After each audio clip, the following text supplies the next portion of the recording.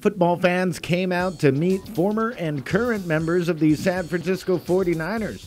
John Paye, Dana McLemore, Eric Wright, Michael Thomas, Tony Gerard, Eddie, and Cam Johnson treated Guam's young football players to a camp, answered questions, signed autographs, and took pictures with everyone there. Yeah, we have uh, some visiting 49er football players uh, visiting Guam to put on a free camp for the kids. We have uh, three players that are currently on the 49er roster and another two that have won Super Bowls with the 49ers. So we're really grateful for them coming out and spending a day with the kids uh, here on Guam.